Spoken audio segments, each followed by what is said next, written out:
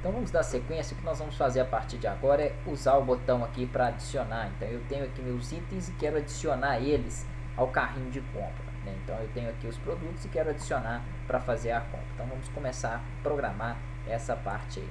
Voltando aqui no Dreamweaver, eu vou fazer o seguinte. É, primeiro vamos criar um arquivo que vai servir como carrinho. Vem aqui, ó, clica aqui na, nessa opção, botão direito, escolhe novo arquivo. Se não der, só clicar em cima da pasta ali, ó, que vai dar certo. Botão direito, novo arquivo, o nome dele pode até ser carrinho mesmo. Carrinho.php. Vou fazer ele também aí em PHP. Vou dar um duplo clique em cima dele para abrir ele. E aqui no design mesmo eu vou escrever aqui um carrinho de compras. Depois a gente trabalha no design aí. Meus produtos escolhidos são. E aqui ele mostra pra gente. Produtos, beleza. Na frente aqui eu quero o código né, do, do produto. Vou dar um Ctrl S para salvar isso aqui por enquanto. Vou voltar aqui para o index.php para a gente poder trabalhar em cima dele. Fazer o seguinte aqui então. É, aqui eu tenho cada um dos campos. Eu não passei informação ainda para o meu campo, no caso que eu quero trabalhar, que é o meu campo de... Opa, cadê? Meu campo de adicionar. Então tem que criar esse campo aqui. Tem que criar uma variável chamada, no caso ali, adicionar. Então vou criar aqui uma variável, dar o um nome para ela de adicionar. E ela vai receber um link, que significa que quando eu clicar no texto que vai conter dela ali dentro adicionar, ela vai me direcionar para aquele arquivo carrinho.php. Ah, então vou abrir uma aspa simples para criar o link aqui dentro. O link nós sabemos aí em HTML que é a, o parâmetro href, que significa a referência onde ele está. A referência onde ele vai estar tá, vai ser a seguinte aqui. Ó. Vou abrir e vou fechar aspas aqui já de uma vez.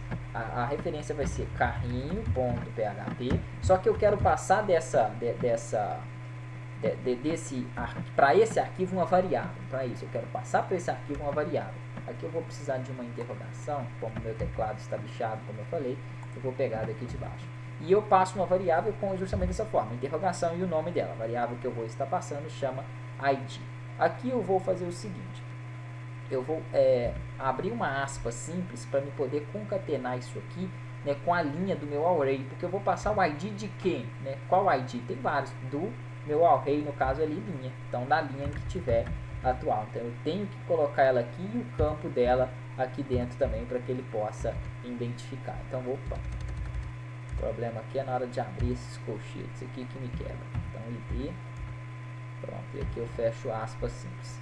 Beleza, então ficaria basicamente isso aqui. Ó. Tá faltando eu fechar né, a minha outra aspas né, no, no final aqui. Ó. Só que, porém, eu quero concatenar isso aqui né, com, o, com, com o título. Como assim com o título?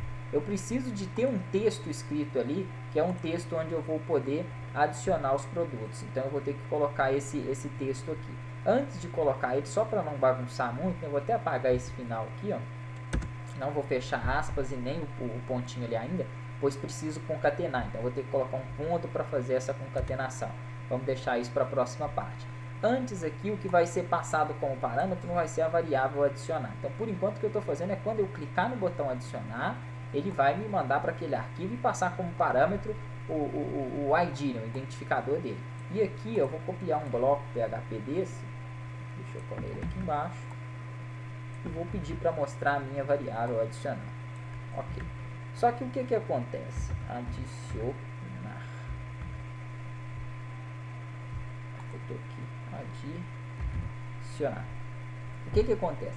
Eu não vou ter texto nenhum para poder visualizar aqui na hora de, de, de, de clicar. Não vai ter esse texto, tá? Então eu vou ter que colocar um parâmetro aqui chama title, né? É isso que eu estava falando que eu vou conectar, concatenar. E esse título vai conter esse texto. Nós vamos colocar ele na próxima aula para não ficar muito extensa essa aula e eu poder explicar direitinho.